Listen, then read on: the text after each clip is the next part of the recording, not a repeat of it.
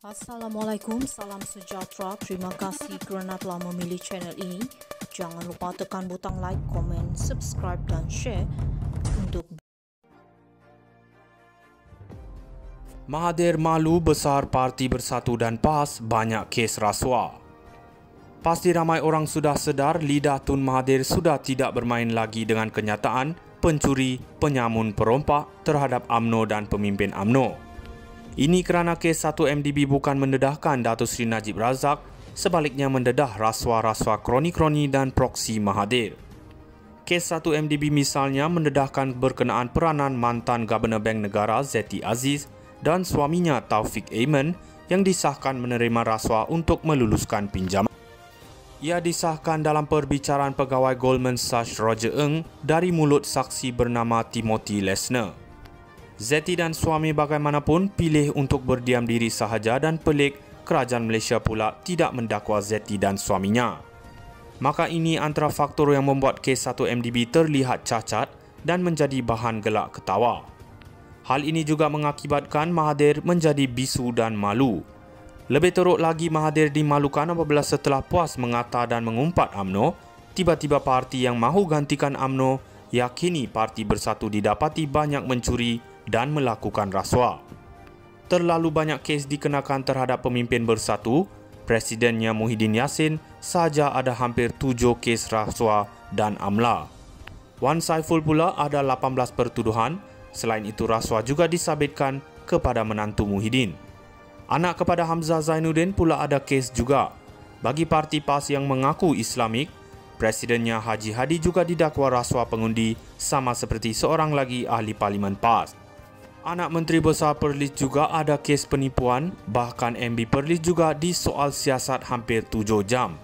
Hal ini menjadikan Mahathir mati akal dan terlihat bodoh. Langsung Mahathir tidak buat zikir amno penyamun perompak lagi. Mahathir juga malu untuk memanggil Perikatan Nasional sebagai perompak nasional kerana takut muka sendiri ditempelak. Akhir sekali Mahathir dan Tun Daim sendiri gagal diklaim harta sendiri, Mahathir dan keluarga sentiasa mohon masa tambahan dari SPRM untuk diklaim harta keluarganya. Inilah bala untuk Mahathir tanggung akibat sumpah laknat. Maka kita tidak akan dengar lagi Mahathir zikir amno perompak Najib pencuri dan Zahid penyamun kerana dalam celana celah, Kangkang Mahathir ada ramai perompak pencuri dan penyamun. Mahathir malu besar Parti Bersatu dan PAS banyak kes rasuah. Pasti ramai orang sudah sedar lidah Tun Mahathir sudah tidak bermain lagi dengan kenyataan pencuri, penyamun perompak terhadap AMNO dan pemimpin AMNO. Ini kerana kes 1 MDB bukan mendedahkan Datuk Seri Najib Razak sebaliknya mendedah rasuah-rasuah kroni-kroni dan proksi Mahathir. Kes 1 MDB misalnya mendedahkan berkenaan peranan mantan Gubernur Bank Negara Zeti Aziz dan suaminya Taufik Aiman yang disahkan menerima rasuah untuk meluluskan pinjaman. Ia disahkan dalam perbicaraan pegawai Goldman Sachs Roger Ng dari mulut saksi bernama Timothy Lesner. Zeti dan suami bagaimanapun pilih untuk berdiam diri sahaja dan pelik kerajaan Malaysia pula tidak mendakwa Zeti dan suaminya. Maka ini antara faktor yang membuat kes 1 MDB terlihat cacat dan menjadi bahan gelak ketawa.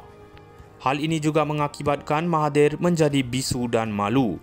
Lebih teruk lagi Mahathir dimalukan apabila setelah puas mengata dan mengumpat AMNO, tiba-tiba parti yang mahu gantikan AMNO yakini parti bersatu didapati banyak mencuri dan melakukan rasuah terlalu banyak kes dikenakan terhadap pemimpin bersatu, Presidennya Muhyiddin Yassin saja ada hampir tujuh kes rasuah dan amla.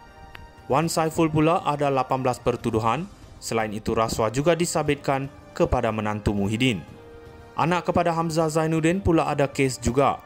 Bagi parti PAS yang mengaku Islamik, Presidennya Haji Hadi juga didakwa rasuah pengundi sama seperti seorang lagi ahli parlimen PAS. Anak Menteri Besar Perlis juga ada kes penipuan, bahkan MB Perlis juga disoal siasat hampir tujuh jam. Hal ini menjadikan Mahathir mati akal dan terlihat bodoh. Langsung Mahathir tidak buat zikir amno penyamun perompak lagi. Mahathir juga malu untuk memanggil Perikatan Nasional sebagai perompak nasional kerana takut muka sendiri ditempelak. Akhir sekali Mahathir dan Tun Daim sendiri gagal diklaim harta sendiri, Mahathir dan keluarga sentiasa mohon masa tambahan dari SPRM untuk deklar harta keluarganya. Inilah bala untuk Mahathir tanggung akibat sumpah laknat. Maka kita tidak akan dengar lagi Mahathir zikir AMNO perempak, Najib pencuri dan Zahid penyamun kerana dalam celana celah, kangkang Mahathir ada ramai perompak pencuri dan penyamun. Mahathir malu besar Parti Bersatu dan PAS banyak kes rasuah. Pasti ramai orang sudah sedar lidah Tun Mahathir sudah tidak bermain lagi dengan kenyataan pencuri, penyamun perompak terhadap AMNO dan pemimpin AMNO. Ini kerana kes 1 MDB bukan mendedahkan Datuk Seri Najib Razak, sebaliknya mendedah rasuah-rasuah kroni-kroni dan proksi Mahathir. Kes 1 MDB misalnya mendedahkan berkenaan peranan mantan Gubernur Bank Negara Zeti Aziz dan suaminya Taufik Aiman yang disahkan menerima rasuah untuk meluluskan pinjaman. Ia disahkan dalam perbicaraan pegawai Goldman Sachs Roger Ng dari mulut saksi bernama Timothy Lesner. Zeti dan suami bagaimanapun pilih untuk berdiam diri sahaja dan pelik kerajaan Malaysia pula tidak mendakwa Zeti dan suaminya. Maka ini antara faktor yang membuat kes 1 MDB terlihat cacat dan menjadi bahan gelak ketawa. Hal ini juga mengakibatkan Mahathir menjadi bisu dan malu lebih teruk lagi Mahathir dimalukan apabila setelah puas mengata dan mengumpat AMNO, tiba-tiba parti yang mahu gantikan AMNO yakini parti bersatu didapati banyak mencuri dan melakukan rasuah.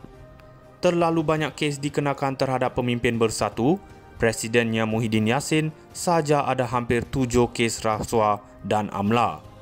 Wan Saiful pula ada 18 pertuduhan, selain itu rasuah juga disabitkan kepada menantu Muhyiddin. Anak kepada Hamzah Zainuddin pula ada kes juga. Bagi parti PAS yang mengaku Islamik, Presidennya Haji Hadi juga didakwa rasuah pengundi sama seperti seorang lagi ahli Parlimen PAS. Anak Menteri Besar Perlis juga ada kes penipuan, bahkan MB Perlis juga disoal siasat hampir tujuh jam. Hal ini menjadikan Mahathir mati akal dan terlihat bodoh. Langsung Mahathir tidak buat zikir AMNO penyamun perompak lagi. Mahathir juga malu untuk memanggil Perikatan Nasional sebagai perompak nasional kerana takut muka sendiri ditempelak. Akhir sekali Mahathir dan Tun Daim sendiri gagal diklaim harta sendiri, Mahathir dan keluarga sentiasa mohon masa tambahan dari SPRM untuk diklaim harta keluarganya. Inilah bala untuk Mahathir tanggung akibat sumpah laknat.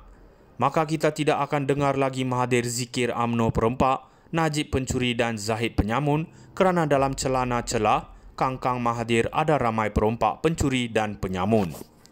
Mahathir malu besar Parti Bersatu dan PAS banyak kes rasuah. Pasti ramai orang sudah sedar lidah Tun Mahathir sudah tidak bermain lagi dengan kenyataan pencuri, penyamun perompak terhadap AMNO dan pemimpin AMNO. Ini kerana kes 1 MDB bukan mendedahkan Datuk Seri Najib Razak sebaliknya mendedah rasuah-rasuah kroni-kroni dan proksi Mahathir. Kes 1M